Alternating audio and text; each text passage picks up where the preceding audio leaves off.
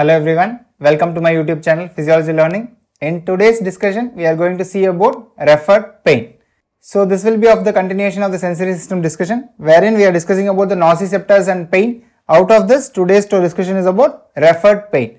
So first of all, what is referred pain? We are going to discuss about it. Then theories of referred pain and we are going to discuss two important terms that is hyperalgesia and allodynia. So let's get into the discussion. So what is referred pain? Referred pain is one pain wherein the original problem will be in the visceral organs and this pain is referred to the surface of the body. That is called as referred pain. It can otherwise be described as the irritation of the visceral organ. Frequently they produce a pain that is felt at the site which is usually away from the original organ and this area will have the pain uh, but the original problem will be in some other viscera. So this kind of pain is called as referred pain. So coming to the theories of referred pain, there is usually four theories given for this referred pain. They are dermatomal theory, then convergence projection theory, then facilitation theory and experience theory. Out of this, the first two are of very great significance because they are very widely accepted. The other two are getting some significance these days. So coming to the dermatomal theory, the dermatomal theory is pretty simple. The pain that is in the viscera is referred to the area wherever it is having a similar embryonic origin. So basically both the viscera as well as the surface of the body are having a similar embryonic origin and such that the pain here is transferred to that region. So the classical examples are in myocardial infarction we see that the inner aspect of the arm is also having a pain. So this is because they have a similar embryonic origin and other such areas are the pain in the gallbladder is usually referred to the region in the tip of the right shoulder. So these are some classical examples of the referred pain which is due to dermatomal theory.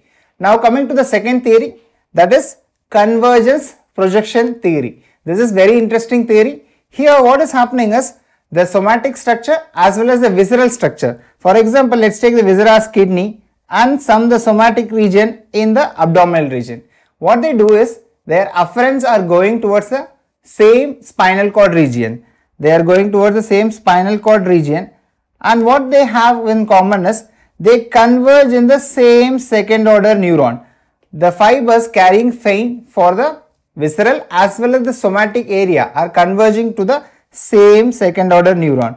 Because of this what happens is once they reach the brain now the brain is not able to differentiate which from which area the original pain is originating. So what the brain does, it will create a painful sensation that this region is having a pain. So it will facilitate it. So what is happening is it here it is converging to one area and the brain is facilitating the pain to the other region. In convergence projection theory, the brain, the cortex is not able to exactly pinpoint the location or site of origin of the pain. So that is the issue here.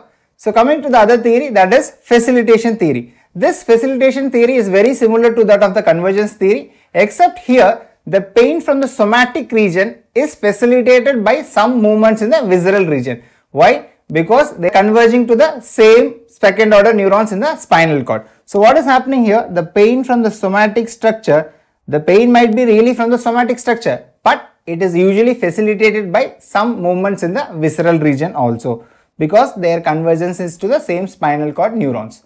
Now coming to the experience theory, this is not a very popular theory, but what is that happening here? The patient might relate this pain to some other previous experience. The classical examples are there is inflammation of the abdominal viscera. The usually patient refers to the previous surgical scar like an appendicitis scar and other surgical area scar. And one another classical example is the women who have undergone spinal anesthesia during pregnancy what they will say is they whatever back pain they have it is usually associated to the spinal anesthesia that is given long long before. Maybe 10 years before also they would have got a delivery but still they will be blaming the anesthetic area for the pain they are having long after the surgery is done. Coming to the two terms that is hyperalgesia and allodynia the term hyper means exaggerated response. So if somebody is having an exaggerated response to a painful stimuli, then that is called hyperalgesia. Allodynia means it is the sensation of pain to non-noxious stimulus.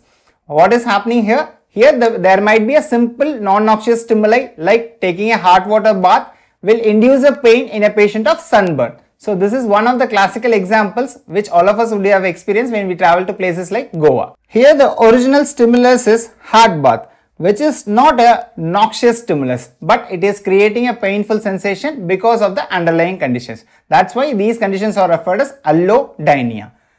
I hope it's clear. Thank you for listening. If you like the video, share it with your friends. Thank you so much.